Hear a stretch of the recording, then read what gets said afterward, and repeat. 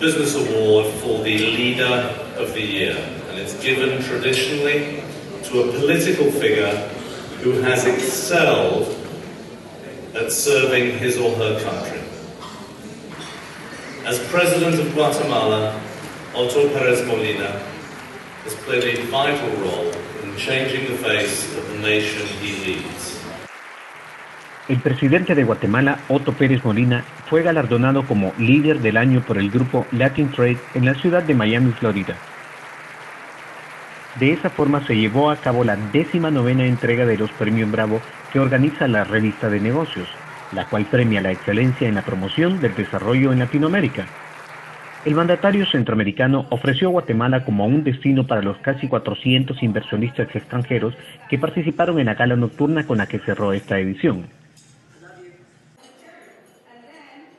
Las oportunidades que se brindan en nuestro país con la seguridad que tendrán un gobierno amigo, un gobierno comprometido para decirles a los empresarios que tengan éxito, que puedan confiar, que somos un país con reglas claras, un país que está viendo el mediano y el largo plazo y que garantice un buen entorno para todas las inversiones.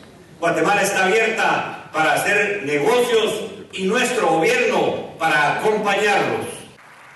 Por la mañana, Pérez Molina hizo ver que mientras Estados Unidos no corte de raíz el consumo de drogas, que en su mayoría provienen de Sudamérica, Guatemala seguirá siendo blanco del narcotráfico y todos sus efectos.